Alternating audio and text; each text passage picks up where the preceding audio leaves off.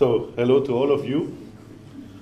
And uh, first, thanks to uh, Omicron for organizing this, uh, for very, very well organizing this event, uh, for this nice location. Thanks to you for coming. Thanks to Alex and Christoph for preparing the ground. So, my name is Jörg Reuter from uh, HELINKS in Switzerland. We are doing 61850 engineering tools, vendor independent engineering tools, since uh, 2008. And um, uh, yeah, I think we've seen quite a lot of things uh, evolving and developing. And I want to share some of these experiences with you and give you an, an overview on how we see the things. The picture here is showing what we need to do if we want to build such a 61850 system. Let us start at the top. We have uh, in every utility, in every enterprise, we have uh, asset management and enterprise data. This has nothing to do with engineering, you can say. But uh, if you look in these databases, sometimes they are CIM database, sometimes they are very proprietary database, sometimes it's only paper. There you find names of substations, you find names of feeders, you find designations of circuit breakers, you find sometimes also naming rules of signals. Exactly this stuff. Also, the engineer from the system integrator company who is building up later on a substation, this, he has to use this stuff. So uh, today we do not have really a relationship between the high level uh, master data in the utilities and the low level engineering data which is in the Excel sheets or in the local engineering tools. And the reason why we do not have this is uh, there is no common system, there is no common data model behind. And uh, this makes life not easy. We go to utilities and we find departments which are working on engineering standards. These departments, uh, they work hard, they think a lot on structuring the data, and then they write everything down in Excel, mostly in Excel. Uh, they also have uh, guidelines for doing the drawings and everything. So also there we have again the same modeling, the same objects, the same elements, and they are written down on, on the paper. Then, based on these engineering standards, the utilities specify a system that they want to buy. If they buy turnkey or if they buy it, uh, if they do it themselves. And then the project engineers are starting to implement the system. So uh, they think about uh, what devices they need and uh, how the process looks like. Then they define, based on engineering standards, uh, all the inputs, outputs, uh, the wiring, and naturally they think about the control and protection functions. and then the boss comes and says, okay, and now we, we make 61850, and we make it turnkey. So we, we, we, give this written specification, we give it out. Uh, maybe it's 400 pages for one substation, and there is one sentence, uh, it should be 61850. Then the 61850 guys, they start to work on the IEDs. So they configure the IEDs to define the, the functions defined in the paper, they make the horizontal communication, the goose messages that Christoph has presented. They make the vertical communication to uh, send the data to the network control center or to the, to the HMI. And they have to follow all this paperwork that, that they see here. But at the end, this 61850 focus here just on the communication configuration has nothing to do directly with what comes here. It is the same, the same data, the same content, but formal, for, on a formal point, it is not the same. So um, they have to do the translation, and they do it every time, and every engineering team does it in a different way. So if the utility runs this classical process like this on paper, they get different solution even for similar substations, and then they have to maintain these solutions. So this is the, the way of doing the IEDs when the vertical communication is, is defined, so the data which is going up, then all this data has also to be taken and engineered into these systems. Uh, and here we are talking about different protocols uh, and uh, about the configuration of the HMI.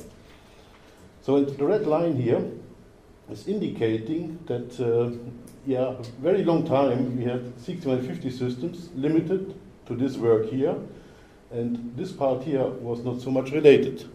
Christoph has presented the structured data in 61850. We saw the common data classes, we saw the position uh, uh, data object and all the structures. At the end, when we come here on this level, we have a flat signal list, we have an, an, an address, and we have to do a mapping on this. So all the engineering that is done on this level is on flat signal list, very well represented in Excel very often, but here we have the structured data from uh, with all the semantics. So also this is, uh, is a, is, it is not seamless. And uh, I think most of the 61850 systems that have been done in the past, they really suffer a little bit from this situation. But they are not, uh, yeah, that, that's not, that must not, not remain like this. Alex has talked about change, and I think here 61850 gives us a big opportunity for change. If we understand how we can use 61850 to cover the entire process. You see this uh, funny twisting slide change, the exciting slide change. I do it again. Yep. yep. So um, that is exciting because 61850 engineering is exciting. That's one reason why I put it in. The other reason is if you fall asleep, I can always give you a wake up kick with the next slide. So you see the same picture again with all the processes, but uh, I took away the red, the red cross which limits 61850 to the pure communication engineering. So here I show the structures that we find in SCL, the structure of the 61850 data model. And if you have a closer look in all the data that is used here, then we see that we find everything.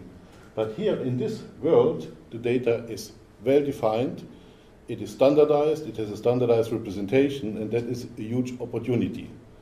And uh, later we will have a presentation about uh, the engineering of, of, Gateway and SCADA, and there we will see that meanwhile uh, a lot has, has happened to overcome the, the, the, the limits that we had at the beginning. And uh, the message that I want to give to you is to show how this entire process can be done using the modeling and the means of 61850. Christoph has talked about it. 61850 defines different kinds of tools.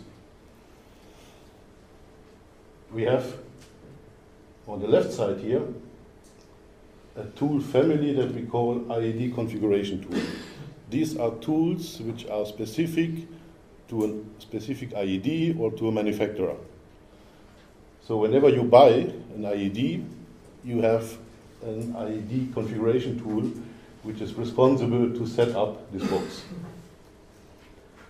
On the other side, the standard defines something which is called SCT, a system configuration tool. This system configuration tool knows nothing about the particularities of an IED or of a, of a vendor. But it knows quite well all the data model which is behind 61850. And this system configuration tool has two aspects or two parts. Um, I want to name them, uh, or yeah, two parts of the tool. One is the system specification tool, the other is the system integration tool. Now these tools, they need to exchange data. And uh, that is uh, now the point where the substation configuration language, or the system configuration language, enters into the game. So we have uh, SCL files, XML-based dialect, which is used to exchange data between tools. So very often the people say, oh, here I have an SCD, a system configuration description, that is the, the only truth for the substation. Yes, it contains, or it should contain, the entire communication related information. But at the end, SCL is not a database for the substation, it is a dialect to exchange information between tools. And what information is exchanged does not depend so much on what SCL file we have. So we will see different files, uh, ICD, IID, CID, SCD, SSD, SAD, ESD. Uh, so if you see this, all, all, these different kinds of files, um, they are not so much uh, characterized by the content, they are characterized by the point in the engineering process where they are used. So we will have a little bit closer look later on on this, uh, on this SCL, substation system configuration language.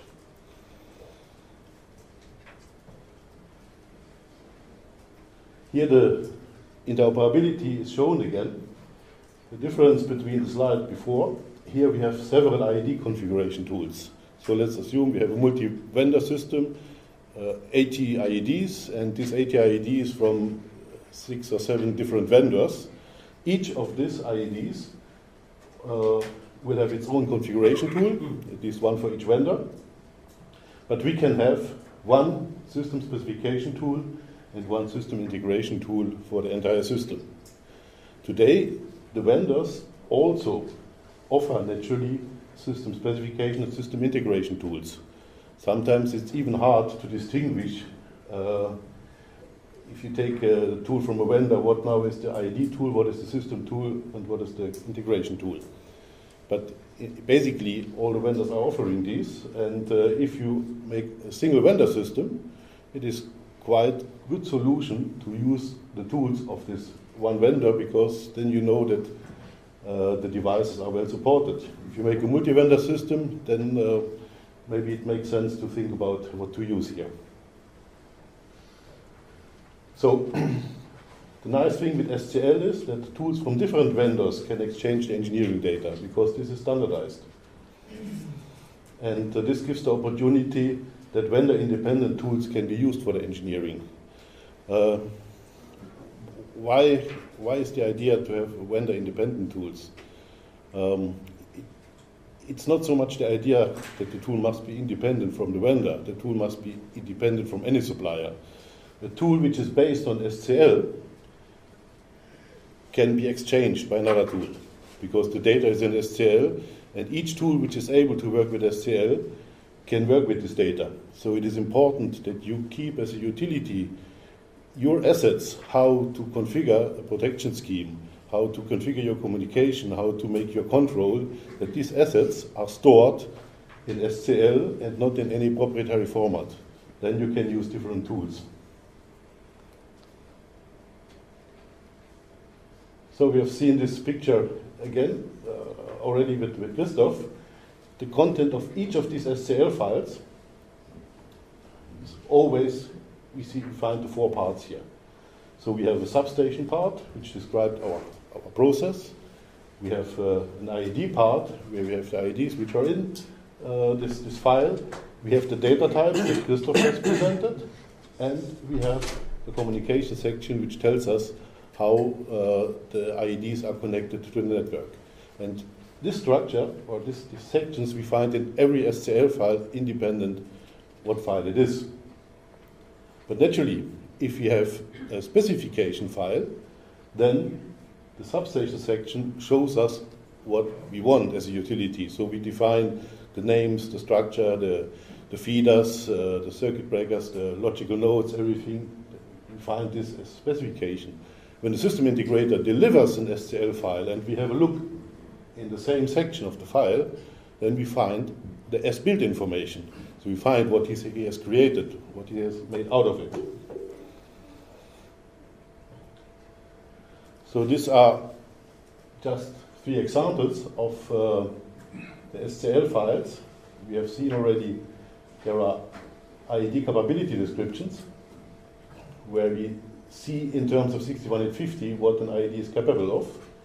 We have a system specification description as an input to the process, and we have uh, the system configuration description, the SCD, which is uh, the complete description of how the system is configured.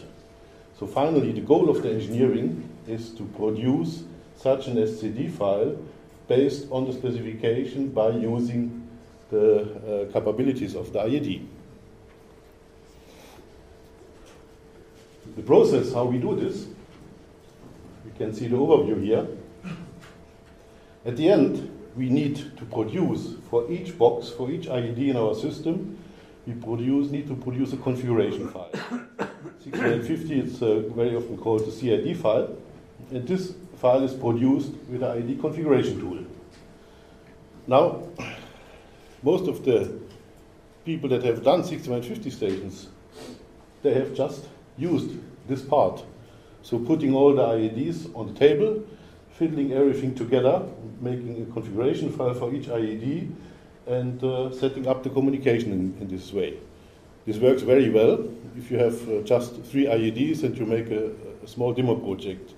If you have 80 IEDs and you just work this bottom up, so I call it sometimes the, the guerrilla engineering with the CID files.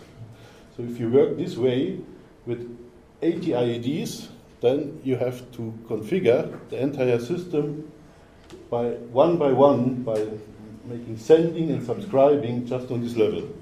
And the only way to get a little bit uh, quality or a systematical uh, way of through this is that you have very clever Excel sheets which manage all this data for you.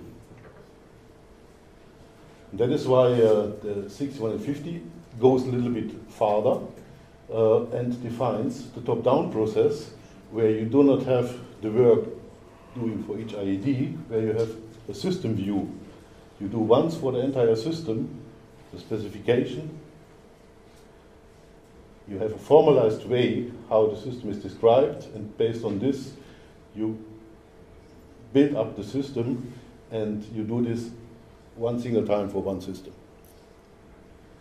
When you are done, you have one description file that describes your system, and the basis, you take the ICD files which gives you the, the inputs for it. So how does this uh, system specification look like? First, we need the process. We need our substation. We need our single line. So generally, uh, a system specification tool should allow you to draw the single line diagram, and uh, the tool should create the SSD file. Based on the single line diagram, you can allocate functions, also define uh, some communications, so that uh, you get a complete specification of your system. the nice thing is, if you are doing this, then you have already, from a, as a utility, you make the specification, but then with this, you do already a lot of design decisions. So the entire namings, uh, the entire structures of the, of the names, your data model, everything is defined. So if you do this, then you will get similar solutions for similar substations. So you can impose design decisions to a system integrator, which is important for maintenance later on. So the content of such a system specification description, naturally this is the substation section, it optionally can contain all the data types that you require Christoph has presented the 61850 data model where you have for circuit breaker position, where you have for protection function, the, the trip with all its details. Here, uh, you can define as a utility the data that you want. So it's a kind of standardized signal list. You can even make an allocation of virtual IEDs. So you say I have a first main protection, uh, I have a wake control unit, and you can allocate your functionalities in a formalized way. And we do not always have a green field if uh, the substation automation system is already existing and you just are extending it with an additional bay. Then, in this case, the system specification description may contain a big part of an already engineered substation which gives to the system integrator all the information he needs to integrate a new bay into the existing system. So an SSD file can be quite complete if we talk about maintenance. So then we have the system specification ready, and the system integrator starts his work. He can look at uh, the capabilities of the IEDs, uh, he can look at the specification, and based on this, he needs to implement our substation automation and control system. And uh, the first step, what he is doing, he creates instances of the IEDs. The ICD files, they are templates. They define uh, the behavior or the data model of a family or a type of IED. Based on these templates, we create 80 IEDs into in our system. We assign all these IEDs to the process so that it is clear which of the XCBR logical nodes belongs to which bay, to which circuit breaker. We put everything together to a network, then we configure the communication, and at, at the end we create the SCD file. The SCD file contains, from a system point of view, all the engineering work that we have done in these steps.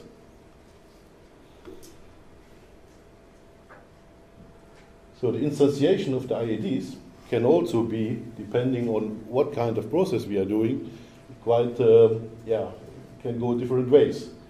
So uh, the IED configuration tool gives us the template file, and from this we create uh, IEDs of a certain type in our system. But maybe we have already an existing system with configured IEDs, so there we can also take an SCL file of an existing IED which is already running in the system and include it in our system. Or we can even have uh, an SCD file which describes a part of an existing system and also this we include and create one, uh, yeah, one entire system with all the information. The IEDs, they are connected to the subnet, and uh, in 61850, we call this connection, um, or in the, in the configuration language, we call this uh, connected access points. Uh, this uh, is uh, necessary because uh, IEDs can have more than one Ethernet address, or more than one Ethernet connection. And using the connected access points, we can connect one IED with several addresses to one network. So at the end, when everything is instantiated, we need to configure the, the communication. Now, SCL describes in a very nice way how to uh, set up reports, um, goose messages, sampled values, but um, also there we have differences between vendors. These differences have been a problem in edition 1. In edition 2, things are much clarified. Now with edition 2, we have a situation that a system tool is able to create these configurations automatically just based on the specification. So as a, as a protection engineer, I'm interested in saying I have from my bay number three the overcurrent protection which produces a trip. And this trip I want to use to block in, a, in an incoming bay another protection function. If I name it in this way, no IED, no, no IED specific information is related to this. It's only application information. This application information can be expressed in 61850 and Based on this information, a system tool is able to create all this configuration information. That at the end means you will be able, as a utility, to define in a device independent way your protection schemes, your communication requirements, put this in a library. Based on this library, you can create a project, and the tool is able to create for different kinds of IEDs out of this library information the detailed configuration here. And uh, if you do it like this, then you save a lot, a lot of configuration work.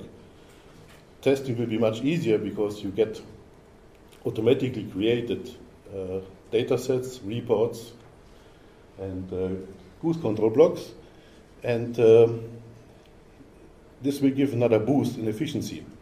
And that is the point where we are today uh, with edition 2. So just to summarize, what happens if we are creating an SCD file, we have our specification, we have instance, instances of the IEDs,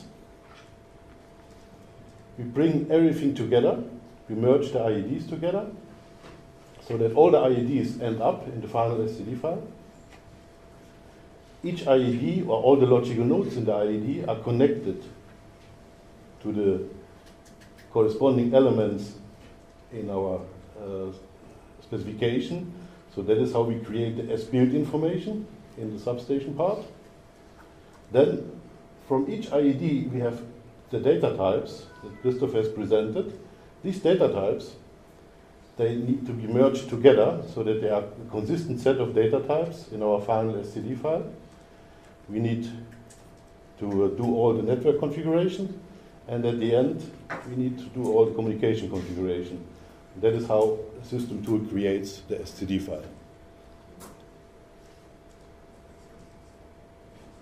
Once the SCD file is done, then the IED tools of the different vendors extract everything they need to set up one box after the other.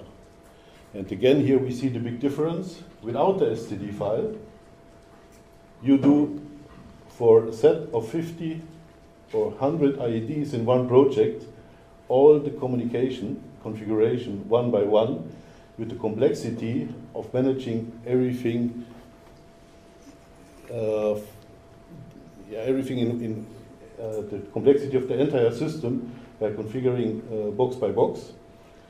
With the SCD file, you have a system-wide view, which is based even on standards and libraries, and it is more or less a push button to do the final configuration files based on the consistent configuration description. And when you have some routine in working in this way, then you can create in a standardized way supported by SCL your signal list, bay templates, function templates, things like interlocking schemes. You can even incorporate pre-configured IEDs, ICD data models that in a frame agreement you have negotiated with the supplier. And uh, uh, in this way, it is just really plug and play based on the right libraries, and you can use the entire structure also to add document uh, piece of documentation uh, according to your to your functions and uh, to your signals into a consistent uh, uh, final documentation of your system. This uh, looks a little bit like future, but um, you are here two other days, and uh, we will have some workshops, and uh, that is an opportunity to experience this.